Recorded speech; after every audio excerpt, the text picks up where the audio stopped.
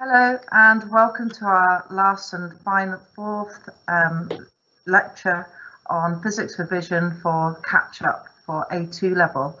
Um, Steve Jones will talk to us uh, and review electromagnetic induction. Hello everybody. We're going to go through electromagnetic induction today, which is a very, very short module, but actually it's got quite a bit of physics in it. But before we start, let's just have a recap from 4.4. So here we've got the left-hand rule. And if you remember, this is the motor rule. So, so this is oh, motor rule, okay? And this is used when a current is already flowing. So the current is flowing already, and you're looking at the force on a current, for example, in a wire.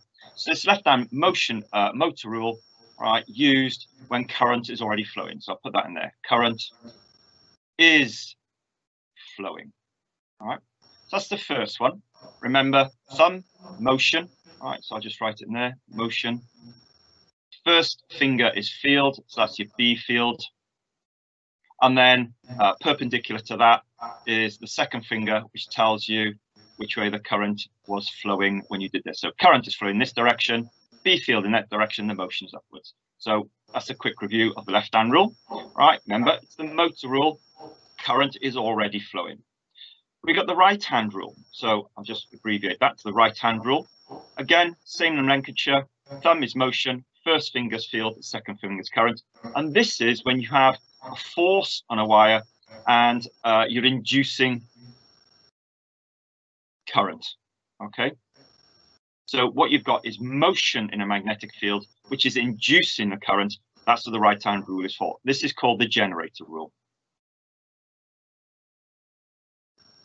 All right, so those are the two rules. Left-hand rule, motor rule, current's already flowing. You're finding the force on a current carrying wire. Right-hand rule, generator rule, you're inducing a current by the motion, which is perpendicular to your B field. Okay. And finally, let's just move this down a little bit your, your right hand grip rule. Now, right hand grip rule tells you the direction of the current in a solenoid right from the direction of the magnetic field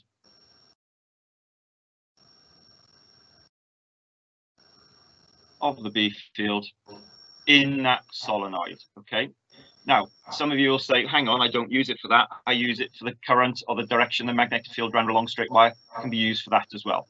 All right. So you can use it in solenoid. So if your B field is in uh, in the solenoid is going from left to right as we are looking in here, then the current will wrap around the top coming towards you. All right. So that's how it's used. And we're going to come to use this one shortly. All right. So let's get to 4.5 then. All right. Let's just drag it down. So the first part then is the definition of this um, thing called phi, right? AB cos theta. So if we take a just a random surface, right? We'll call this the an area, right? This random area doesn't matter what it is, right? And we have these lines of flux passing through. Now, lines of flux, if you think of your bar magnet and you draw on your magnetic field lines, these, those are the lines of flux right? So I'm just going to put them in this way, right? Essentially, what you've got is your B field, right? So your B field is going through this this area, right? So what we're saying is this B field, which I'm going to call just B from now on, right? Is if you think about the strength of this B field, right? It's got to do with two things. It's got to do with this this um, I well, this flux, these flux lines, right? Which I'm going to give this nomenclature as phi over the area. All right.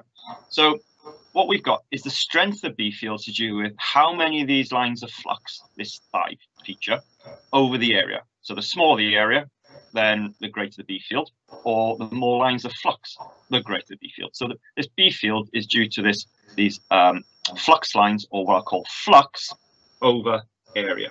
Now, these are all perpendicular here, right? They're all perpendicular. If they weren't perpendicular, then the strength of the B field in this area would be less. So actually, if I rewrite this, right, which is what we've got here, is we got, if I rewrite that to phi, right, I've got I equals, what do I equal? equal AB, and then I have to have this cos theta in it. Now, usually cos theta equals uh, um, 1, and it falls out, right? So we're only left with this phi equals AB. So that's where that comes from, right? So do with the area that um, these lines of flux pass through and how many lines of flux pass through. So that gives you B field, quick rearrangement, right, from this equation, and we get this phi equals AB cos theta. And that, that there is we're going to use shortly. Okay, now let's go take that a little bit further. Say, for example, we have a bar magnet. Let's find my pen. There we go. Let's just quickly do a bar magnet here. Right, as best I can. Right, and let's say uh, this is south, this is north. Now, because the bar magnet is going to have field lines coming out of it, these lines of flux. Let's draw some lines of flux. I'm just going to do them uh, like so. I'm going to do them as best I can. I'm going to spread them out. Remember, they would go all the way around and back into the south. Oh, hang on. Let's do that in the north because that will make more sense. Can't have two souths. Uh, and let's do this. All right, like that. Let's do a few more. Do like that. And we'll do one over here as well. There we go. So what have I got? I got one, two, three, four. Let's do the same side. So I got one, two, three. If I can get one there four. There we go. Now, those are our lines of flux, and don't forget they loop around to the, to the south. Right, I'm going to put around here now a loop of wire. Let's do one here. Let's see if I can get a loop of wire. Let's change my pen for a second. Let's do black so you can see. All right, so let's do a loop of wire around here. Let's go like this and go loop of wire. There we go. Down there and back out there. Now you can see at this moment in time, right, I have got um, four flux lines going through this loop. So I say my flux, I've got flux linkage, okay? In other words, these four lines of flux are um, going through the area of my loop, right? And at the moment, I'm going to equal it to four because I've got four lines of flux in there. Let's call this bit A here, right? Now, if I do this loop and move it slightly to the left, let's try and get the loop the same size. It'll be a bit challenging, but we'll see what we can do. Right, let's have a look like that. There you go. That's not bad. Let's loop this round like that. So I've done roughly the same size. Okay. Now, if we look now, we've got one, two, three, four, five, six, seven. One, two, three, four, five, six, seven. Yeah. One, two, three. Actually, we can say that one was five, can't we? Because that one's just going through there. So now we've got a part of B. So that was A. Now at B, my flux linkage equals 7. Now, it's this change of flux linkage, right, that causes something called an EMF, right? So in this case, if we're going back to this, right, my link or my loop is N. So the number of loops I got is N is 1. So in this case, N equals 1. So my flux linkage, there's no symbol for flux linkage, by the way. You just have to write it out if you need to. All right, Link linkage equals N phi. Well, phi is defined up here, look, AB, so we don't need to define that any further, right? But in this case, I've got n is equal to 1. If I if that was two loops of wire, which I'll go to in a second, that would be n equals 2. So basically, every time I put a loop in, my flux linkage is going to um, multiply by that number of loops, all right? So let's just drop that down again. All right, let's get my spelling right there. All right, so that's where I am at the moment. All right, so that tells us, so there's two things I've got here. All right, so the flux linkage defined by the number of turns on the coil. All right, so let's, where's my? Oh, there it is. The number of turns in the coil. All right, multiplied by this magnetic flux. All right, remember, flux is just these sort of field lines going through. We call them flux lines. Right, so from that then, we can start looking at some of Faraday's law and Lenz's law. Well, let's look at Faraday's law to start off with. All right. So if I can get this in, right, so here's my pen on it is. Let's consider uh, a loop of a coil wire. Let's do this. Let's just do some coils of wire. There we go. Lots of coils of wire. And let's take it out and put it to a voltmeter. There we go. So you put a voltmeter there. Let's go back to that. And let's put a magnet in, in there. All right. Now, while the magnet, let's go north and south, for example. Now, while the magnet is stationary, nothing happens because the flux linkage hasn't changed. But if I was to push that through there, then if you can go back, and think about what I've done here, this flux linkage has changed because I put it into the loop, right? Instead of moving the loop, up, put it into the loop, or I can move the loop up, it doesn't matter, right? Then I've got this change in flux linkage, right? And this change of flux linkage produces an EMF. Uh, right, so that produces an EMF, right, or a voltage, right? So this EMF is a, a voltage. Now, what, uh, uh, right, if he was to move this magnet faster or faster, right? So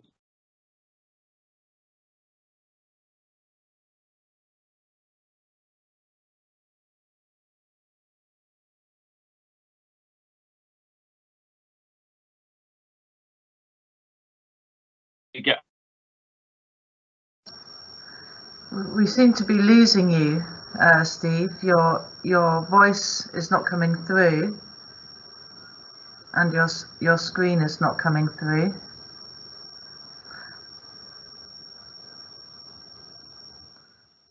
I think um, Steve is going on to saying that um, EMF um, is the rate of flux cut um, the EMF of a, um, a moving conductor is proportional to the rate of flux cut. Where, and also when there's a larger cross section. Okay, we've got you back now, um, Mr. Jones. Oh, did you lose me? Yeah, we, okay, we I'll quickly go through that. That's okay. Okay, I'll quickly go through that. Apologies.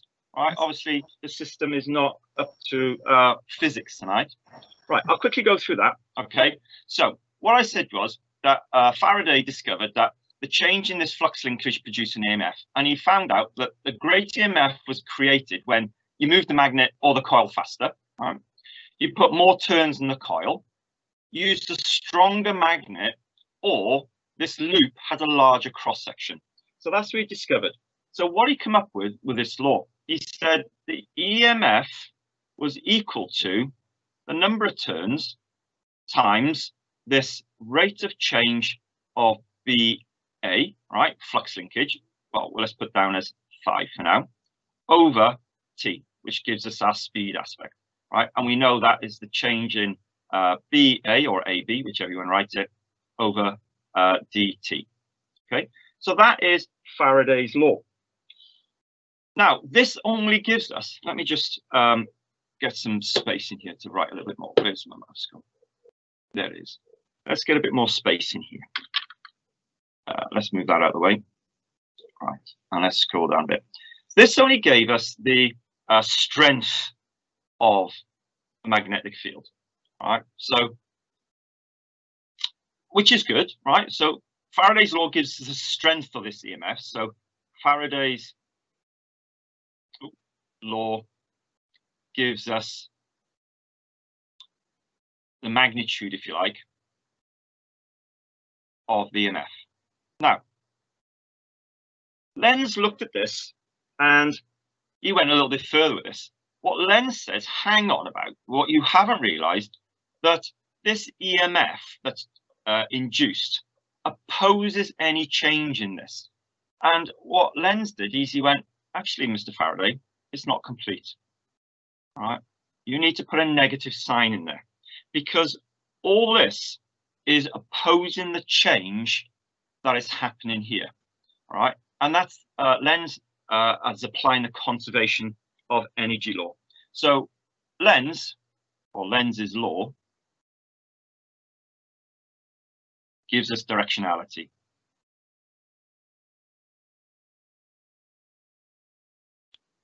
Okay, so that's what Lenz's law did. And it's a consequence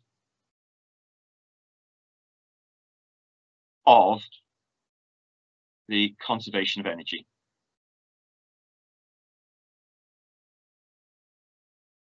There we go. All right. Okay. Let's scroll down a little bit here and see if we can get up because I've moved everything down. There we go. Right, let's, oh, it's too far. Right, let's move these out of the way because they're in the way. Look. Now, let's have a look at the application of this, right? And this actually, there's two ways of doing this. There's the textbook way, which um, hurts your brain, quite frankly, and then there's a, a simpler way. Now, it doesn't matter which way you look at it, right, as long as you understand it. So let's apply this Faraday's law, i.e. the EMF, to the rate of change of flux linkage. So what we've got, if we look at this, let's get my pen back up. Let's do uh, blue should be all right.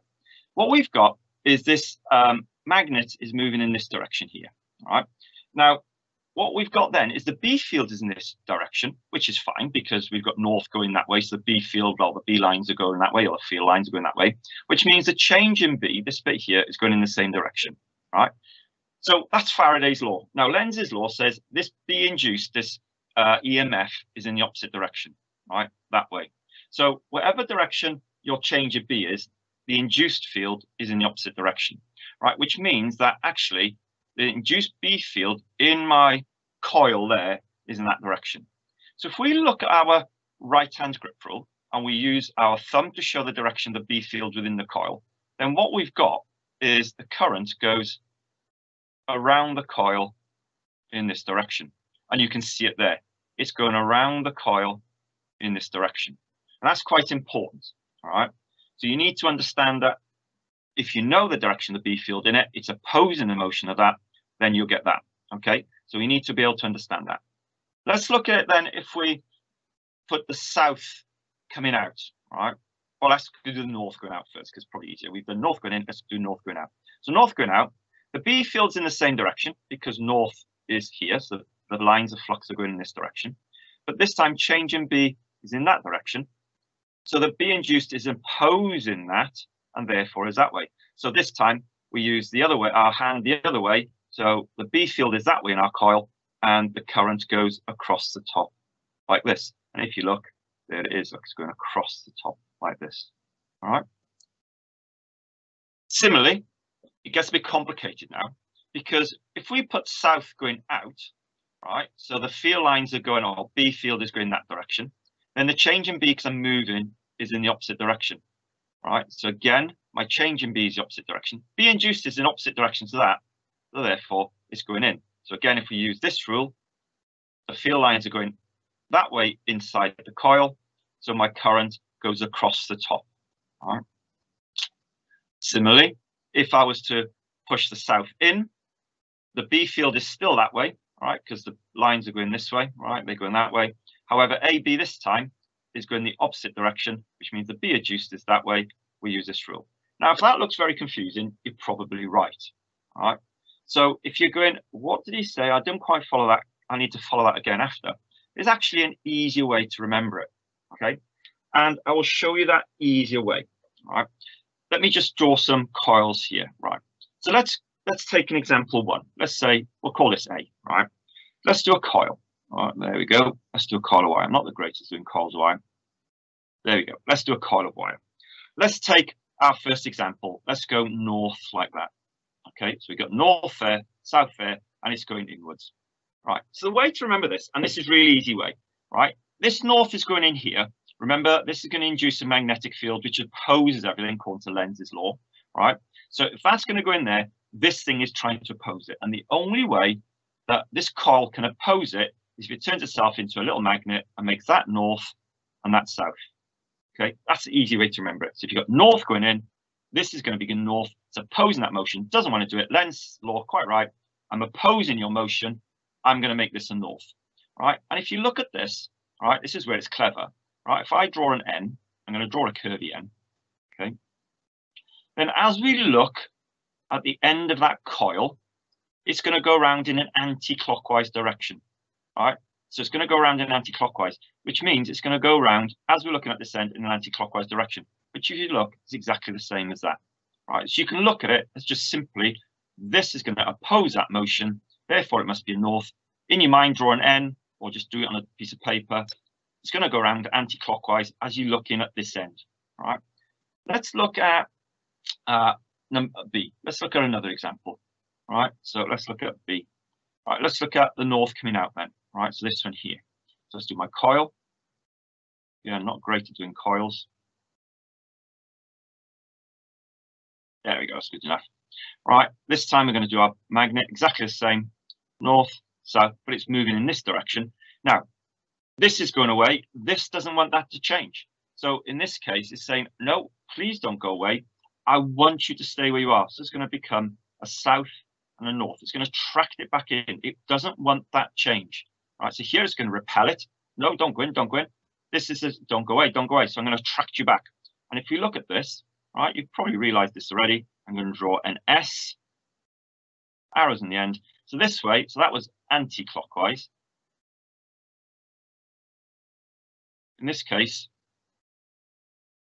you can see it's clockwise. So as we look at this here, it's clockwise. It's going to go around in this direction as we look in the end. So in this direction, as we're looking from this end, and if you look, it's exactly what we've drawn here. All right. Similarly, let's do this one at the top here. Got a little bit of space to get it in. All right. So this time we're going south out. Let's change my color pen. So we'll call this C. Let's do a small coil. There we go. There we go. So we want south. So let's copy it. South is here. North is here. It's being going out. Right. So again, this is south. It's going out. It doesn't want that change. So it's going to attract it back. We're going to make this a north. That's a south. You can see what's going on here. I draw a little N.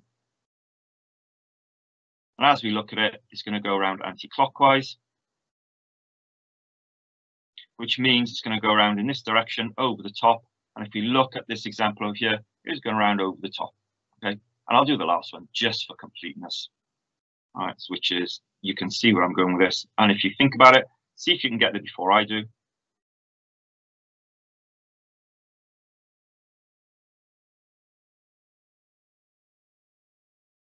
Now, I'll let you worry about what that's going to be. Remember that it's in there. So what is this side going to be? yeah, you're quite right, north.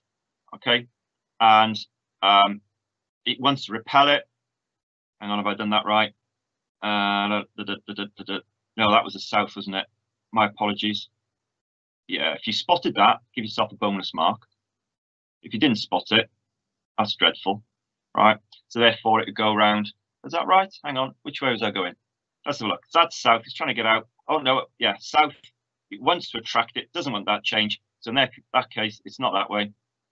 Right, it's south, which is clockwise, right, which is in that direction there. Is that right? Should be right. Let me just check. Uh, da, da, da, no, I was right, right the first time. You were right Sorry. I was right the first time. Yeah. Right, hang on. Right, so that was an N, that was an S. Just checking myself, and this was right and that was right, and that was wrong. My apologies. Right, and here then, right, it's trying to repel it going in. I am right. That's north, that's south, and therefore, um, no, it's trying to repel it to stop it from going in, which means now I'm confused. What we got here? That's a north. Yeah, that's right. And that is trying to stop it going in, which means that's a north, which means uh, hang on. Now I'm confused. Which way is that going? That has to go that way, which means it has to be clockwise. So that will be a south. There we go. How to get confused very easily. Draw too many diagrams. Right, and there we go. Right, and that is a clockwise a, direction. a north, the, the last one, won't it be? Because hang uh, on, hang on. I've made one of these wrong then. Let me have a look. Right, north, that has to be a north because it's repelling it. Quite right. Thank you very much, Mrs. Owen. That's a south. One of these is wrong then. But, right, that's a north. It's going to repel it, which means that is a N, which is, as you can see, anti-clockwise. And it goes round in this direction here, which is wrong compared to that, I think. and the third one was right first time. Yeah, I'm just checking that was right first time. Let me just check this. Uh, if you're trying to pull it out, that wants to attract it. If you're trying to push in, that's absolutely correct. Okay. Yeah. there we go. So what we got is That's the way to do it. Right, so just think of what is trying to happen here. This case is repelling, right? This case is repelling. That case, it's attracting. This case, it's uh, that's what I've done wrong, is it? Yeah, that's what I've done wrong. I tell you what I've done. I've copied the one up here, look, guys. All right, that should have been. There we go. That's what the confusion was. That should have been south. That should have been north, which means that that would be. You tell me, guys. That would be. It's pushing in. It's going to be south. That's where I've gone wrong. I've done the same one twice. All right, so that would be north. So in this case, I was right the first time. All right, this would be a south. There we go. Slight confusion there. Hope you can follow that through after, and it's a clockwise. And that's my stupidity in making sure that I didn't copy that down there. All right, okay. Hopefully you've got that. Follow it through back if you want. All right, those are now correct. Uh, and just follow the principles I did with the first two. All right, those are definitely right. So I got confused by being an idiot there. Now, so that's important right? So you do need to be able to do that and apply that to your um, situation there. So if you've got a coil of wire, magnet going in, you need to know which direction that current's going. And there's some questions in past papers about that. Right, let's go to the next bit. If you have any questions that, please post it in there. If I didn't make it clear, please post and I will come back to it. All right, so don't worry. All right, but if it's clear for you and you understood me, uh, even though I made a mistake, just, um, you know, that's great. If you do need more answer or more clarification, please come back. All right. The idea that an EMF is induced in a linear conductor moving at right angles to a, a field. Let's do a magnetic field. Oh, not with that pen. Let's do a magnetic field. All right, we'll do, there you go. So we come in into the page, going into the page, this field. All right, and let's do a conductor. There we go. Let's do it down here. And this is at some point T. All right, and sometime later, so we'll call that this initial. And sometime later, it's over here, all right? And we'll call that final. Right, that's this final bit there. And it's moving to the right, obviously, with some velocity v, okay? Now, if we go back to Lenz's law, Lenz said EMF, or sorry, Lenz and Faraday's law, is minus n d phi by dt, right, which you know now is minus and uh, I'm going to use a small d, so the uh, small amount of d rather than a change in dBA by dt. Okay, so that's what he said. Now, what is A? A is the area of the conductor, or what the conductor passes through. All right. Uh, so that's the area it passes through. Okay. We've got B, which is a B field, all right, and T is time. So let's look at this in a little bit more detail. Right, what is the area of this? All right, well, we've got a length here. So as long as we know this length L, that's a good start. So area, let's put it over here, area equals length times width or depth or whatever you want to do. But what is the width? All right, what is this bit here? Right, well, we know velocity is V. All right, so if you think about it, then uh, this width, this bit here, is equal to vt, right? The velocity times the time in that. So if you take time to be one, that, that makes sense, right? So we're doing a little bit off, so we can take t as one. So what we've got then, the area equals length times velocity times t. So if we then put that into here, what we've got is, all right, we've got the EMF is equal to, uh, well, how many n's have we got? We've only got one, so we can just put the one in there, right? That falls out. Times, notice I've got the negative sign there for now, times uh, dB, well, we haven't changed that. It's the A that's changing, not the B. The B is a constant, and the A is, uh, what is it, L V T by dt. Now, if we take t equals 1, all right, if we take t to be equal to 1, right? Then what we've got is that falls out, and what we've got is the EMF is equal to minus B still there, right? L still there, V still there, and that's it. So this is for a, a moving conductor in a magnetic field, the EMF induced still a negative, Lenz's law still applies, is equal to the negative BLV. Now that's quite an important one because you can actually solve any equation with this using Lenz's law in full. But if you know it's a moving conductor in a magnetic field, it reduces down to BLV, and that's quite useful. Right. So it's not essentially know that, but it's going to save you a lot of effort and a lot of time if you uh, remember that. Okay. All right. So that's application of that.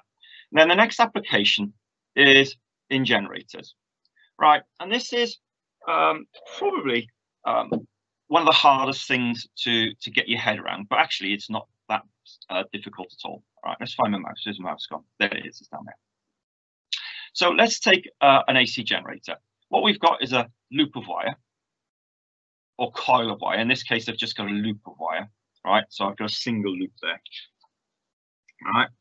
And I've got a magnetic field and it's going from this direction to this direction, north to south.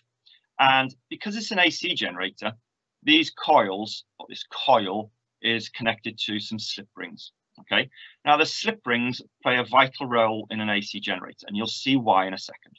So if I've got um, motion, in other words, if I connect this to something like a wind turbine and I get it to spin in this direction, right, then what I've got is the motion upwards, all right, I got my B field going that way, perpendicular to it at this moment in time. So my motion is upwards, my B field is that. Now using the right hand rule, Okay, remember right hand rule is a generator rule. It's used when you're inducing a current from motion. All right, if we use the right hand rule, if you get your, your right hand out now, you can see that my motion is upwards. Okay, the field is going north to south, which means the current is going to move in this direction. Okay, it's going to come down this way, down here, in here, out through this commutator, and in through the circuit. So it's going to go through the circuit in that direction. Okay, so in this case, we're looking round this way like that, all right, which is great.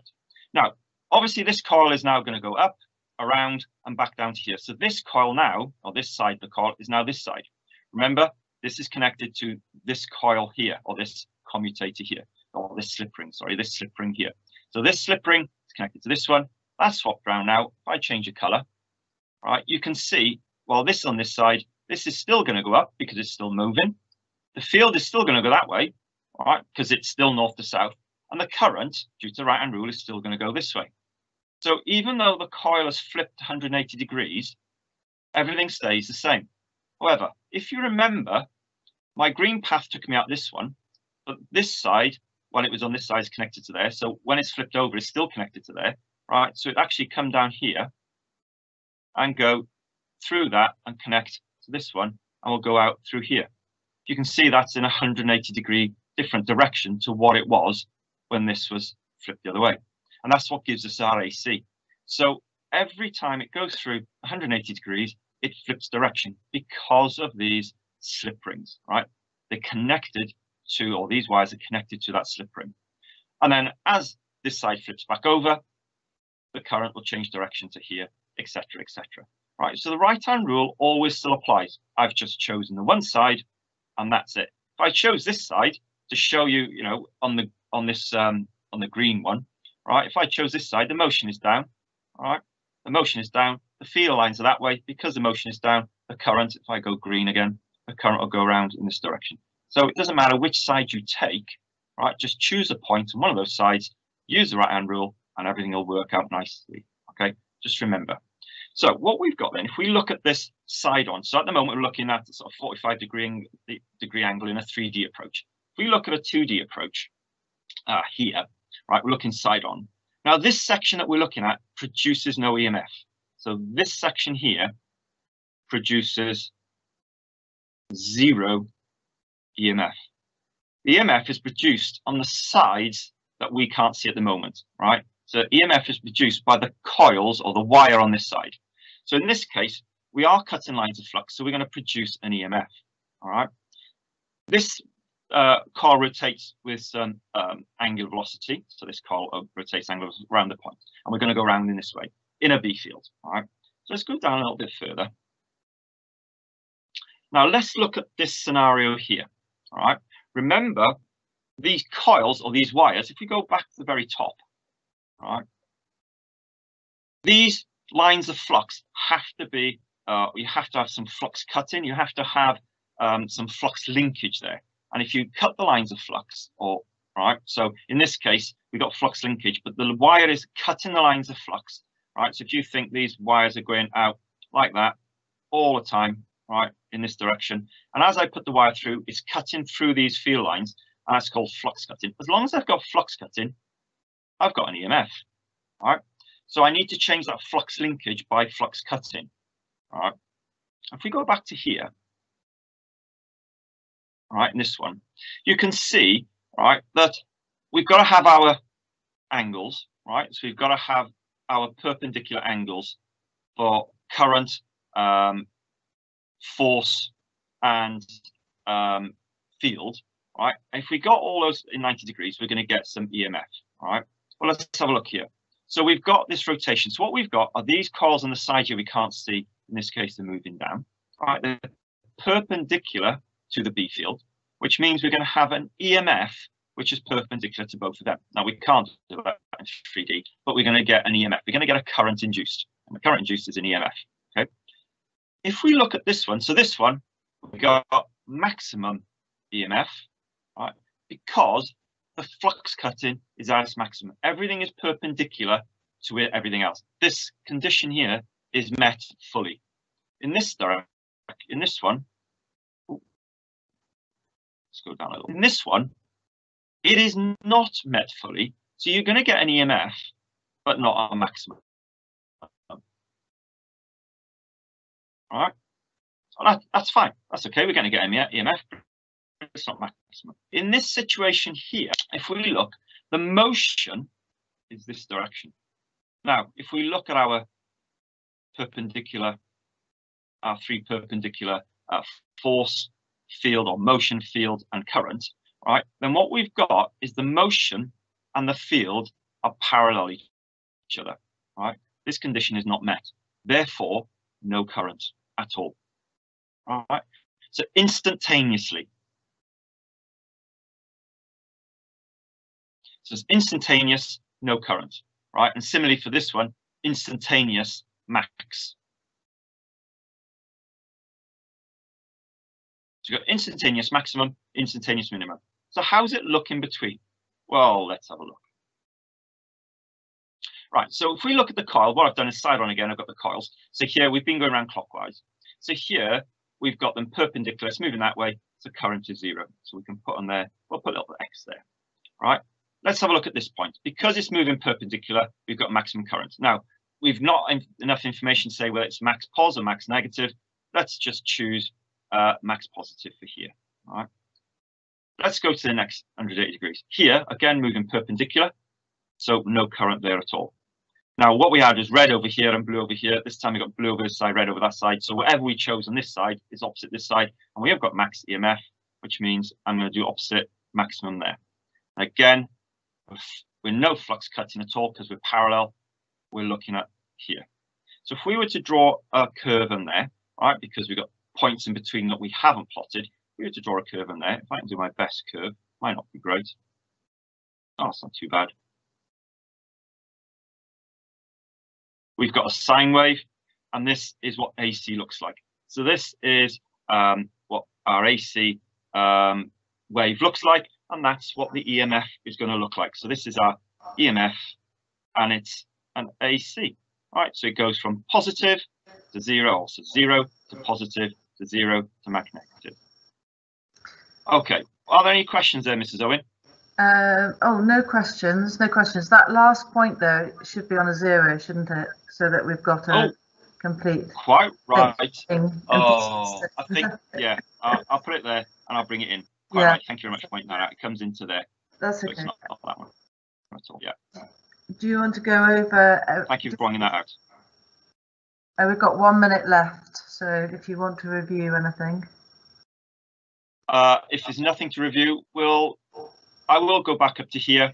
Right, what I'll do for clarity, I'll quickly draw these again, right, because uh, I'll do it very quickly. Right, there we go. So I'll have a south to north going that way, which means it's opposing that motion, right, which means we need a south. Oh, let's change the colour pen. We'll have a south and a north It's opposing that, which means we go around in this direction, looking at it. And the last one, if we have exactly that. No, that's north. Yeah. Oh, talk about definition of confusion, right? How can you get it wrong so many times, guys? Huh? How can you get it wrong? There we go. And then this one, let's get this one right. Okay, so we got south, north, and we're going inwards. It needs to repel it. So let's do my coil. There we go, we'll do the coil. And then this time, because it's trying to repel it, south, north, and there we go. At least we got the last one right. Uh, thank you very much, Steve Jones. That just shows you how complicated it can be, and you've got to have a clear head to kind of like look through it, or you know, kind of like visualize it, and and the application of Lenz's law and Faraday's. Yeah. And and and thank you very much for taking us through all of that. And I hope you've enjoyed these four sessions that we've provided. We've certainly enjoyed um, giving them to you, and um, um, yes, good luck in the assessments that you will have now, and it's goodbye from us.